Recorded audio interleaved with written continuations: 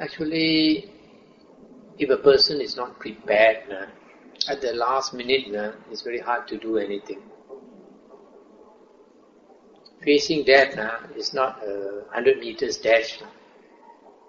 It's a long, long uh, run. So we have to prepare ourselves uh, over a period of years. Uh, then only we can face death. So if somebody is ignorant, uh, and then at the last minute uh, you try to teach the person some dhamma or anything, uh, it's no use. The mind is not uh, tuned to dhamma. What is important is the everyday mind.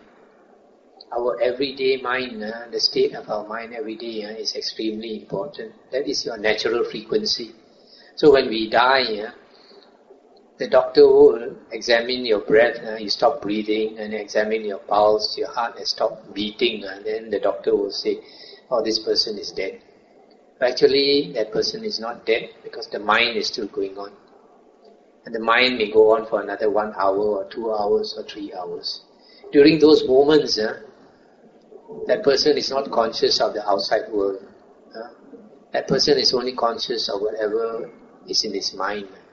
So the mind is in a state of dreaming. Uh, so that state uh, depends on your everyday mind. If a person uh, is always uh, chasing after worldly things, uh, then when that person is dying, uh, he will also think about all the worldly things. Uh, and if that person is a bad-tempered, violent type of person, then that last minute, his thoughts will be fighting and all that, uh, be reborn as an animal probably. Uh. But if that person uh, is a cultured person uh, who practices the Dhamma, who loves the Dhamma, then when that person is dying, uh, his thoughts will be on Dhamma. And the Buddha said uh, that kind of thoughts will bring you up to a good rebirth. So whatever you say to that person at that last minute uh, is no use. When his eyes are open, when his ears are open, he can listen to whatever you say. The moment uh, his heart stops beating uh, and uh, he stops breathing, uh, then uh, his thoughts will run. And those thoughts uh, have nothing to do with your thought. Those thoughts are his everyday thoughts. And his everyday thoughts will bring him to his rebirth. Mm. So you know, you know, doesn't matter what you say to him in the last moment, doesn't matter at all. You know, most of us, uh, especially lay people, uh, we chase after different things in life. When you're young, you want to have a good education. After you have a good education, you want to have a good partner. After you have a good partner, you want to have nice children. Then at the same time, you want to make a lot of money then uh, you want to get a nice big house to stay in, nice car to drive, etc. Then at the end of life, uh, you find uh, all these things are not important. Uh, at the end of life, when you are dying, uh, what is important to you? Firstly, the good deeds that you did, the good deeds that you did to others. Secondly, uh, the evil deeds that you did uh, to others, uh, you'll be very remorseful. Mm. Thirdly, uh, the things that could have made you advance spiritually, uh, the steps uh, or the, uh, the spiritual path, uh, if you did not uh, make enough effort, uh, after having come to the Dhamma, knowing the Dhamma, and you did not make enough effort, you also regret very much. A few years ago, there was a man from Kuala Lumpur who came to our Temoh monastery to stay for two weeks. And everybody liked him because he was a very good cook. he was very popular with people. But, but then uh, he, he came, uh, he was not used to monastery life, not used to not having dinner. So he didn't keep his precept very well. He had hide some biscuit in his kuti to eat at night, uh, which I later found out. So after that, uh, he he left, and maybe he thought uh, monastery life uh, is too too difficult. Uh, at night also no dinner, so he did come back. Uh, then uh, a few late years later, maybe four years later, three or four years later, he came back one day. Then I looked at him and I said, what happened to you? Because his face was dark, very dark. So he told me, I have cancer, terminal cancer. He said, uh, I came back to say, uh, I regret very much. Uh, I extreme regret extremely. I didn't come back to practice in the monastery. Mm. So uh, after that, he went back to KL and friends visited him also. He told them he regret very much. Did come back to the monastery to keep the eight precepts to practice. And shortly after that, he passed away. So you see, when we have the chance to progress spiritually, we don't make the effort.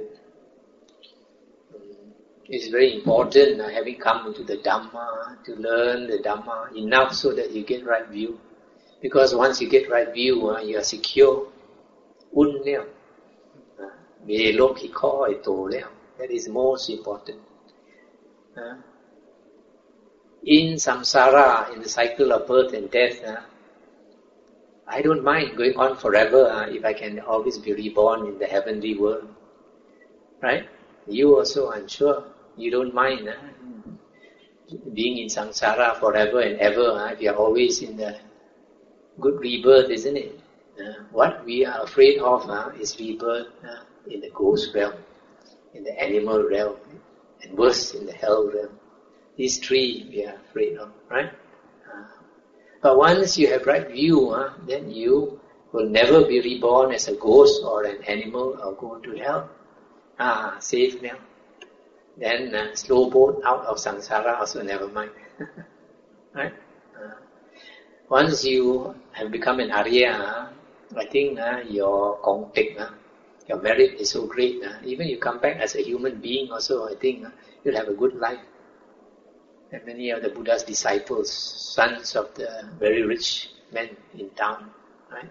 Uh, having four wives, plenty of slaves.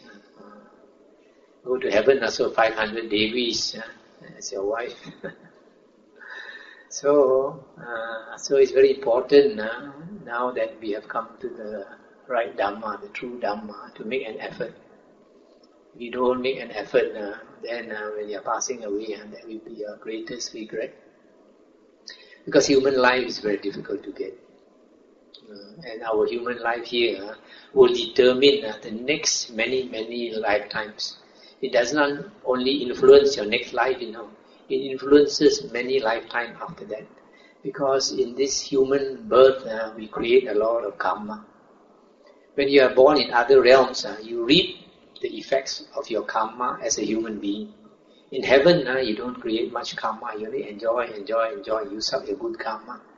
And when you go to hell, uh, you have to pay back, pay back, pay back, pay back all your evil karma. Or you're born as a ghost or an animal, uh, has no chance to create karma, You're just paying back, paying back. Uh, so human lifespan, uh, lifetime uh, is very crucial, very, very crucial. So we must not be careless, to be extremely careful. Uh, don't at the last moment uh, regret this and regret that. Imagine now uh, that you have a second chance in life. A lot of people don't have it. Suddenly they know they got cancer and within one or two months they pass away. Uh, just like uh, this Chinese New Year, one of my devotees uh, in Perak State uh, said uh, just before New Year, uh, the sister-in-law phoned her and said uh, coming back for Chinese New Year, asked her to cook this and cook that. And before she could come back, suddenly she found she got cancer. And then went to check, uh, found that the lung uh, collapsed already. Uh, I had to go to hospital, uh, take out that lung. And then suddenly uh, found that the cancer spread already. Uh, now we're just waiting for death. And then uh, she told my devotee, uh, she said that she regret very much uh, that she did not take uh, interest in religion. Uh, before she got sick, uh, she used to laugh at my devotee uh, spending so much time uh, uh, with your Buddhist monastery uh, and all these things. And now that she is on the brink of death, and then only she understands that she is not prepared for death at all. Uh, so her greatest regret did not take any interest in religion. We should live our life like the scout, be prepared. Anytime you go for a checkup, suddenly you find, oh, you got cancer. Among the Chinese, uh, most of the Malaysians who get cancer are Chinese. On the average in Malaysia, one in four people get cancer. So among the Chinese, you can say one in three. In. So your chances of getting cancer are very, very high. Uh, but anyway, whether the doctor tells you you got cancer or not, the Buddha already said nah, that you all have cancer. Yeah, in the sutta, the Buddha said, nah, you have cancer. Anytime you can die. You don't know when you're going to die. And life is very short, very, very short. When you don't expect it, nah, suddenly uh, you find you're going to die. Like this lady, never expect, uh, when come home for Chinese New Year, uh, want to celebrate. Uh, suddenly, uh, cannot enjoy anymore. Many years ago, one of our Penang devotees, uh, the husband was dying. So the doctor said uh, within three months, uh, definitely he will die. But after that, he didn't die. And he dragged on month after month. So this old lady asked me and another monk to go to the house to do some chanting for this old man. So when we went to the house, we saw this old man, uh, so all skin and bones. He should be dead already, but he refused to die. And he was so weak uh, that his mouth opened and uh, could not close his mouth. So we did some chanting for him. And after that, we left. Uh, within five minutes, he passed away. So some people are like that. They don't go off uh, because they, they don't have enough good karma. So uh, they know uh, they are going to take rebirth in the ghost realm or animal realm. So they're scared. So as long as you cling on to life, uh, you won't die. Our mind is very strong. Uh, you're not willing to die. Uh, even your body is rotting. Uh, just recently somebody told me the mother's body rotting already and yet she refused to die. Pus already coming out from the mouth. Uh, actually rotting already and yet she refused to die. Holding on to life. So this person like that, not scared of dying because not enough good karma. Oh, yeah, uh, So when we did some chanting for him, he felt assured. Assured. Then he let go. He passed away. But that does not mean he'll go to a good place. At the last moment, he feels peaceful. But once he closes his eyes and is clinically dead, then the mind will continue to go. And that depends on his karma. If his karma is good, it brings him to a good rebirth. If his karma is no good, still full of greed, hatred, and delusion, go to a bad rebirth.